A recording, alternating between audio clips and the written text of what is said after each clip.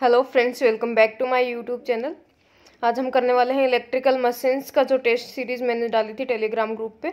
उसके सॉल्यूशंस यहाँ पे डिस्कस करेंगे। काफ़ी इंपॉर्टेंट है ये क्विज जो मैंने डाली थी इलेक्ट्रिकल मशीन्स की।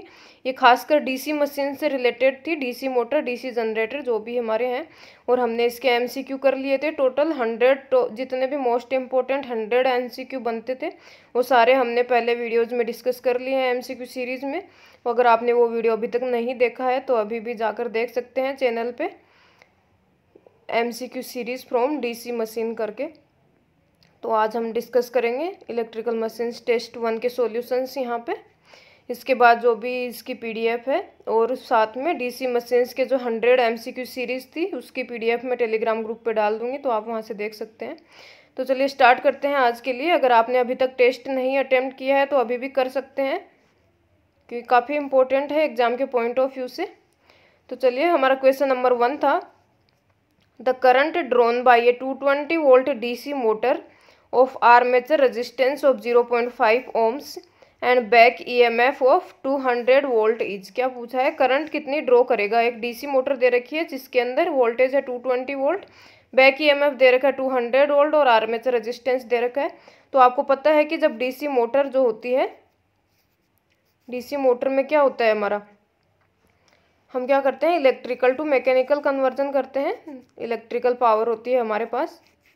और यहाँ से हम इलेक्ट्रिकल को यूज़ करके मैकेनिकल में ले जाते हैं, ठीक है? तो यहाँ पे क्या करेंगे? इलेक्ट्रिकल से मैकेनिकल कन्वर्जन है। आपको याद करने का तरीका है, क्योंकि आप डीसी मोटर और डीसी जनरेटर में कंफ्यूज हो जाते हैं। तो आप किस तरह से याद करेंगे? तो याद कर सकते हैं डीसी मोटर में क्या करते हैं इलेक्ट्रिकल सप्लाई देते हैं और जैसे मोटर हम घरों में यूज़ कर रहे हैं तो आप याद कर सकते हैं कि इलेक्ट्रिसिटी से हम इसको स्टार्ट कर रहे हैं और आउटपुट में हमें क्या कर रहा है कि पानी की सप्लाई हम यहाँ से ले सकते हैं इस तरह से। तो आप इस तरह से याद रख सकते हैं इलेक्ट्रिकल टू मैकेनिकल अब इलेक्ट्रिकल टू मैकेनिकल है तो पहले हम सप्लाई देंगे तो वो हमारा हो जाएगा वी फिर क्या होगा वी इक्वल टू जो हमारा ड्रॉप हो जाता है आर्मेचर का तो वो हो जाएगा आई आर तो ये हो जाएगा I A R A plus back E M F आ जाएगा हमारा यहाँ पे ई बी ठीक है?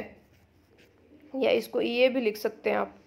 तो ये आपको इक्वेशन याद रखनी है। इस तरह के जो भी क्वेश्चन है डीसी मोटर हो या डीसी जनरेटर की बात हो, इस तरह के क्वेश्चन एग्ज़ाम में पूछे जाते हैं। काफ़ी बार पूछे जाते हैं क्योंकि ये सबसे ज़्यादा सिंपलेस्ट क्वेश्चन है। तो आपको अगर इक्वेशन पता है डीसी मोटर की किस तरह से लिखते हैं डीसी जनरेटर की बेसिक इक्वेशन कैसे लिखते हैं तो यहाँ से सोल्व कर सकते हैं आप। ठीक है डीसी मोटर में ये होता है और ये इसकी इक्वेशन है तो वी क्या दे रखा है आपको? टू ट्वेंटी वोल्ट दे रखा है यहाँ पे। तो यहाँ से वी लिखे टू ट्वेंटी आई हमें दे नहीं रखा आई तो फाइंड आउट करनी है ना। रेजिस्टेंस दे रखा है zero point five ohms plus back E M F क्या दे रखा है आपको? टू हंड्रेड वोल्ट तो यहाँ से आप क्या कर सकते हैं? आई की वैल्यू फाइंड आउट कर सकते हैं यहाँ से। तो यहाँ से आइए, निकाल लीजिए। आइए की वैल्यू यहाँ पे आ जाएगी आपकी फोर्टी एम्पियर तो ऑप्शन एक जो है करेक्ट आंसर हो जाएगा। काफ़ी इजी क्वेश्चन है, क्योंकि आपको सिर्फ़ इक्वेशन याद में रखनी है, उसके बाद आप इसको सोल्व कर सकते हैं आसानी से, ठीक है? नेक्स्ट क्वेश्चन देखते हैं। The dummy coils in DC machines are useful to dummy coils के बारे में मैंने पहले भी बताया, आपको एमसीक्यू सीरीज़ जब करी थी, वहाँ पे सारे जितने भी क्वेश्चंस थे, मैंने हर एक क्वेश्चन को बिल्कुल बेसिक तरीके से डिस्कस किया है आपके साथ वहाँ पे। हर एक चीज़ उस क्वेश्चन से रिलेटेड किसी भी क्वेश्चन में कितनी भी टर्म्स हो, वो सारी टर्म्स वहाँ पे एक्सप्लेन करी हैं मैंने आपको। तो डमी कोयल्स हमने वहाँ पे पढ़ी थी। फिर से क्वेश्चन कर लेते हैं डमी कोयल्स किस लिए यूज़ में लेते हैं? To to maintain mechanical balance of armature option D जो है इसका करेक्ट आंसर हो जाएगा। नेक्स्ट क्वेश्चन देखते हैं। In a C machine for the same value of flux Z and N which one of the following statement is correct तो flux है Z क्या आपको नंबर ऑफ़ कंडक्टर और एन क्या है स्पीड है आपकी। कौन सा स्टेटमेंट करेक्ट है? तो ऑप्शन ए है armature EMF is more in wave winding than with lap winding second है armature EMF is less with wave and more with lap third है armature EMF depends on whether the machine is running as a motor और generator armature EMF is same as long as the flux density in the air gap remains the same तो अब आपको पता है कि EMF e का formula किस तरह से लिखते हैं आप? तो ईएमएफ e का फॉर्मूला अगर आपको नहीं याद है तो आप याद कर सकते हैं। तो लिखते हैं N P five Z upon sixty और ये ए ए क्या है? नंबर ऑफ़ पैरेलल पाथ्स तो यहाँ पे अगर फ्लक्स डेंसिटी रिमेन सेम की बात करें तो ऐसा कुछ भी नहीं आता। Motor is, machine is running as a motor और जनरेटर तो यहाँ पे मोटर की तरह वर्क करो या जनरेटर की तरह वर्क करो, हमारी सारी चीज़ें कुछ भी चेंज नहीं होने वाला है। Armature EMF less with wave और मोर विद लैप अब आपको पता है, पहली बात तो आपको मैंने लैप और वेव वाइंडिंग के बारे में पढ़ा दिया था एम एमसीक्यू जहाँ पे डिस्कस किए थे। कि वेव वेव वाइंडिंग क्या होती है? High voltage, low current winding होती है और लैप वाइंडिंग होती है, high current, low voltage winding. तो अगर आपको इतना सा याद है तो आप यहाँ पे ऑप्शन टिक कर सकते हैं। दूसरा ये है कि वेव वाइंडिंग जो होता है उसके अंदर नंबर ऑफ़ पैरेलल पाथ्स कितने होते हैं? फिक्स होते हैं, ठीक है? वेव वाइंडिंग में ए की वैल्यू क्या होगी आपके पास? टू फिक्स है? और यहाँ पे अगर बात करें हम लैप वाइंडिंग की तो लैप वाइंडिंग में क्या होता है? नंबर ऑफ़ पैरेलल पाथ जो होते हैं कितने होते हैं? Equal to P number of poles के इक्वल ठीक है? तो इसी तरह देख सकते हैं आप। अगर पोल्स की बात करें, अगर फोर नंबर ऑफ़ पोल्स है तो आपका ए फोर हो जाएगा लैप वाइंडिंग के लिए और वेव वाइंडिंग के लिए क्या हो जाएगा? टू हो जाएगा। तो ई एम एफ़ ज़्यादा आएगा ना? यहाँ से भी देख सकते हैं आप। और यहाँ से ऑप्शंस की बात आए तो आप ये दो ऑप्शन यहाँ से हटा सकते हैं फॉर्मूला देख के आराम से। लेकिन आपको ये याद रख लेना है कि वेव वाइंडिंग में high voltage, low low current winding होती है और लैप वाइंडिंग जो होती है, high current, low voltage winding होती है। तो इस तरह से आप बिल्कुल बिना देखे इस क्वेश्चन को टिक कर सकते हैं। ऑप्शन ए करेक्ट आंसर हो जाएगा आपका। नेक्स्ट क्वेश्चन देखते हैं। What is the increase in the torque expressed as percentage of initial torque if the current drawn by a DC series motor is increase from ten ampere to twelve ampere और यहाँ पे आपको एक ये भी ध्यान में रखना है कि आपका सेचुरेशन जो है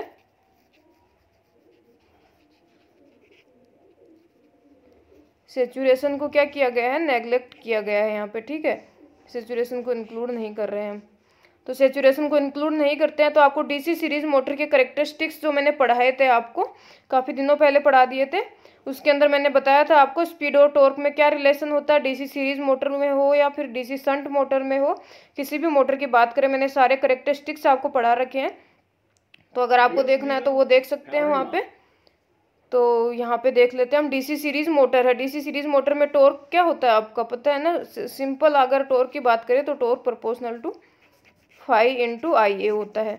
अब डीसी सीरीज़ मोटर की बात करें तो डीसी सीरीज़ मोटर में क्या हो जाता है? आपका फ्लक्स जो है किसके प्रोपोर्शनल हो जाता है? डीसी सीरीज़ मोटर के अंदर फ्लक्स क्या होता है? आई के बराबर हो जाता है। अगर यहीं पे संट की बात करें तो संट में फ्लक्स कांस्टेंट हो जाता है। तो यहाँ पे फ्लक्स अगर प्रोपोर्शनल टू आई हो जाएगा तो टॉर्क क्या हो जाएगा? Proportional to I A square ठीक है? यहाँ से टॉर्क आ जाएगा आपका प्रोपोर्शनल टू आई स्क्वायर तो अब आप बता सकते हैं यहाँ से कि आपका करंट क्या है? टेन एम्पियर से ट्वेल्व एम्पियर चला गया है तो T two upon T one कर लीजिए यहाँ पे। T two upon T one क्या हो जाएगा आपका? टी टू क्या हो जाएगा? One forty four I A square है ना? और टी वन क्या हो जाएगा? हंड्रेड तो अगर आप इसको यहाँ से करेंगे तो ये क्या हो जाएगा आपका? वन पॉइंट फोर फोर ठीक है टी टू इक्वल टू क्या आ जाएगा? One point four four T one तो यहाँ पे लिख सकते हैं आप T two equal to one point four four T one ठीक है। ये आ गया आपका टी टू यहाँ से आपने सोल्व किया है टी टू किस तरह से आया आपका। ठीक है, और ये आपका बेसिक फॉर्मूला है कि आपका फाइव और आई ए किस तरह से डीसी सीरीज़ मोटर के अंदर टोर्क और करंट में क्या रिलेशन होता है? अब यहाँ से टी टू आ गया, आपका one point four four I T one तो आप यहाँ से क्या निकालना है? आपको परसेंटेज निकालना है इनिशियल टोर्क से तो ये क्या हो जाएगा आपका T two minus T one upon T one into hundred कर लीजिए, ठीक है? अब यहाँ पे आप टी टू और टी वन की वैल्यू पुट करें टी टू आ जाएगा one point four four T one और टी वन है ही आपका तो यहाँ से अगर आप वैल्यू फाइंड आउट करेंगे तो आपका ऑप्शन डी करेक्ट आंसर आ जाएगा फोर्टी फोर परसेंट करके। नेक्स्ट क्वेश्चन देखते हैं। If the armature current is increase to double its previous value and the time of commutation is hard how will the reactance voltage vary armature current को क्या कर रहे हैं हम? आई जो है हमारा आई ए जो है, इसको क्या कर दिया हमने? आई ए टू की बात करें यहाँ पे तो ये हो जाएगा two into I A one ठीक है? और कम्यूटेशन टाइम है, उसको क्या कर दिया है? टी टू है ये। तो ये हो जाएगा T two upon two half कर दिया है ना? टी वन अपॉन टू ठीक है? अब आपको आई ए टू पता, आई पता है टाइम पता है कितना हो गया प्रीवियस का तो रिएक्टेंस वोल्टेज कितना हो जाएगा तो ये आपको फॉर्मूला पता होना चाहिए रिएक्टेंस वोल्टेज का।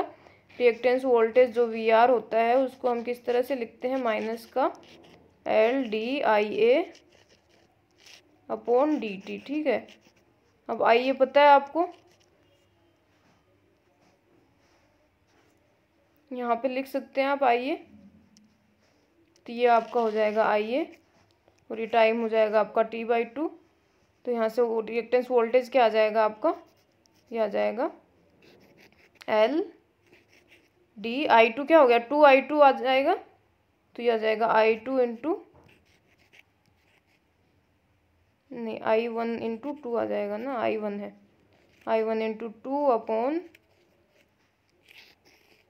ये आ जाएगा डी टी वन अपोन में टू था तो वो ऊपर चला जाएगा इंटू टू तो टू इंटू टू करके फोर टाइम्स हो गया आपका। तो टोटल जो आपका आ जाएगा यहाँ पे, क्या आ जाएगा इसका? फोर टाइम्स आ जाएगा। ऑप्शन सी डी जो है करेक्ट आंसर हो जाएगा। It will become four times ठीक है? फोर टाइम्स पता चल गया आपको कैसे आया है यहाँ पे? ये आपका हो गया फोर टाइम्स नेक्स्ट क्वेश्चन देखते हैं। The field flux method of speed control of DC motor is generally use for which one of the following field flux method होता है। आपका स्पीड कंट्रोल मेथड पढ़ाए हुए हैं मैंने। आपको बता रखे हैं मैंने सारे स्पीड कंट्रोल मेथड किस तरह के होते हैं फ़ील्ड फ्लक्स मेथड में क्या होता है, या फिर उसकी बात करें आर्मेचर कंट्रोल की, ये सब की बात करें। तो सारे मेथड मैंने बता रखे हैं आपको। तो फ़ील्ड फ्लक्स मेथड अगर यूज़ कर रहे हैं तो क्या हो जाएगा? मतलब किस तरह का है इसके अंदर? जनरली किसके लिए यूज़ में लिया जाता है? ऑप्शंस दे रखे हैं आपके। ये कांस्टेंट एचपी ड्राइव क्या है ये? हॉर्स पावर ड्राइव या तो कांस्टेंट टॉर्क ड्राइव इसके अलावा है एक या तो अबो बेस स्पीड या तो बिलो बेस स्पीड तो अगर फ़ील्ड फ्लक्स की हम यहाँ पे बात करें फ़ील्ड फ्लक्स की अगर यहाँ पे बात करें हम तो फ़ील्ड फ्लक्स मेथड में क्या होता है? आप अगर स्पीड को निकालना है यहाँ पे तो स्पीड का क्या होता है? Speed proportional to A B upon five होती है हमारी। अब फ्लक्स में फ़ील्ड फ्लक्स मेथड में क्या करते हैं? हम फ्लक्स को वीक करते हैं यहाँ पे। तो फ्लक्स को वीक करेंगे तो क्या हो जाएगा? अगर फ्लक्स वीक हो रहा है तो स्पीड हमारी इंक्रीज होगी। तो ये तो आप निकाल सकते हैं कि अबो बेस स्पीड होगा मेथड तो बिलो स्पीड वाले जो है, ये वाले कैंसिल हो जाएँगे आपके, बचेंगे दो। अबो और अबो वाले जिसके अंदर कॉन्स्टेंट टॉर्क या कॉन्स्टेंट हॉर्स पावर ड्राइव अब आपको पता है कि टॉर्क जो है वो किसके प्रपोर्शनल में होता है? टॉर्क जो है डिपेंड करता है फ्लक्स के ऊपर। तो कांस्टेंट टॉर्क तो हो नहीं सकता क्योंकि फ्लक्स को वेरी कर रहे हैं। तो ये टॉर्क क्या हो जाएगा? यहाँ पे वेरिएबल हो जाएगा। तो इसका मतलब क्या है? हमारा कांस्टेंट हॉर्स पावर ड्राइव है तो ऑप्शन डी करेक्ट आंसर हो जाएगा यहाँ पे। नेक्स्ट क्वेश्चन देखते हैं। When is the mechanical power developed by a DC motor is maximum DC motor में मैक्सिमम पावर कब होती है? क्या इसकी कंडीशन होती है? डीसी मोटर के अंदर सबसे मेन कंडीशन जो बात करते हैं हम, वो यही होती है कि मैक्सिमम पावर कब होती है? मैकेनिकल पावर डेवलप्ड जो होती है मैक्सिमम कब होती है? तो ये आपकी होती है जब बैक ईएमएफ जो होता है, क्या होता है? E B equal to V upon two तो इसमें क्या हो जाएगा? Back E M F is equal to half the applied voltage option C correct answer हो जाएगा। काफ़ी इंपॉर्टेंट क्वेश्चन है, ये काफ़ी बार एग्ज़ाम में पूछा जाता है। इसके अलावा जब आपकी मैकेनिकल पावर डेवलप मैक्सिमम होती है तो एफिशिएंसी कितनी होती है, वो मैंने लास्ट मेज़रमेंट वाले एमसीक्यू सीरीज़ में भी कराई है आपको। मेज़रमेंट का टेस्ट के सॉल्यूशन जो डिस्कस किए थे। तो जब मैकेनिकल पावर डेवलप्ड मैक्सिमम होती है तो एफिशिएंसी हमारी होती है फिफ्टी परसेंट तो एफिशिएंसी क्या हो जाएगी आपकी?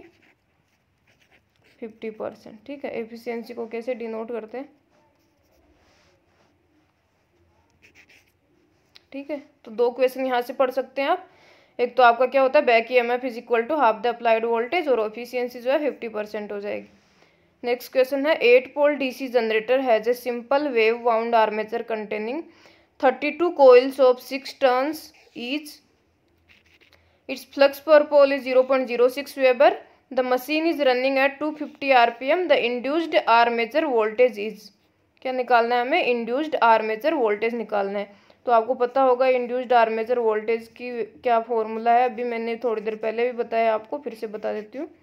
ये होता है N P phi Z upon sixty A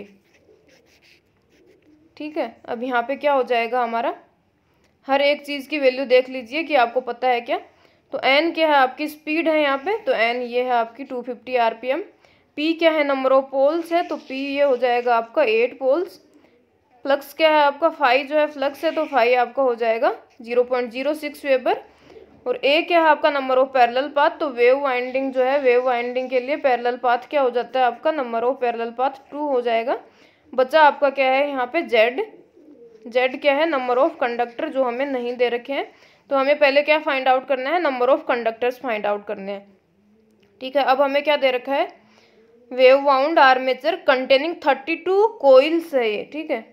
coils नहीं coils thirty two coils of six turns each ठीक है? सिक्स टर्न्स ईच दे रखे हैं. नंबर ऑफ़ कोइल्स कितनी है? थर्टी टू तो यहाँ पे देख लेते हैं हम कि हमारे पास थर्टी टू कोइल्स हैं।